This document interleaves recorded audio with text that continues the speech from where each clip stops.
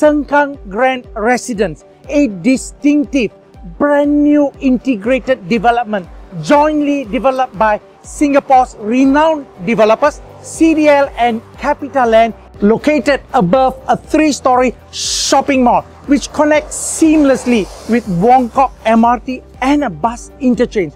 Residents have access to retail shops, supermarket, hawker center, probably a very first in Singapore incorporated within the integrated development.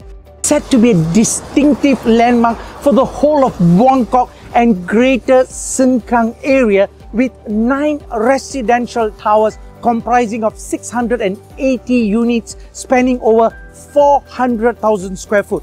Singles, young couples and families have a wide area of choice with unit mix of one bedroom plus study to four bedroom premium plus flexi units.